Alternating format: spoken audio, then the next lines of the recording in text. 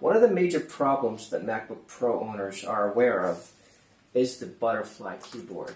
Now this keyboard is problematic because of the butterfly mechanism, where dust or other small particles can get stuck underneath the keys and after some time can render the key useless. The key can get stuck and we used to call this sticky keys.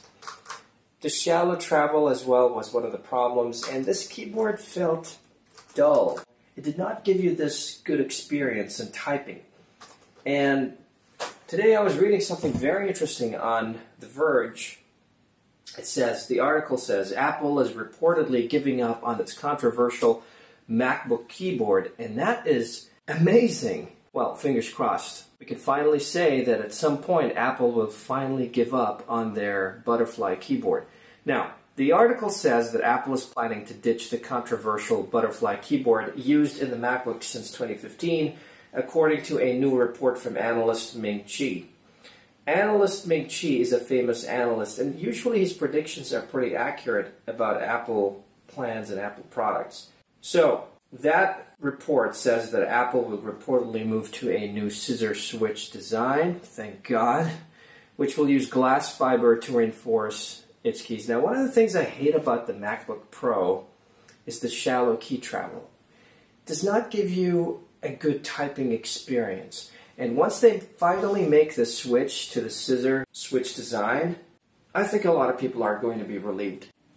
Keyboards like this give you a premium typing feel. And one of the best keyboards that I've actually seen and felt on a laptop was the Lenovo ThinkPad X1 Carbon. Now, the report cites a couple of different reasons why Apple is switching keyboard designs, as well as being more durable thanks to the glass fiber reinforcement. The report says that the new keyboard could improve the typing experience by offering longer key travel. Finally, longer key travel. That's exactly what we've been waiting for. Now, unfortunately, the report suggests that the new keyboard won't make it into this year's rumored 16 MacBook, 16-inch MacBook Pro which is expected to be announced this September.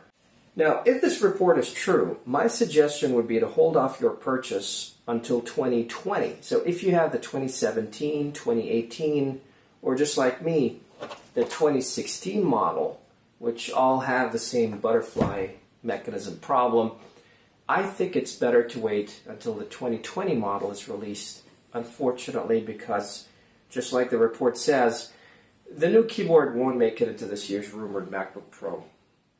So wait until 2020, that's my advice, so that you can get the best experience possible when it comes to the butterfly keyboard.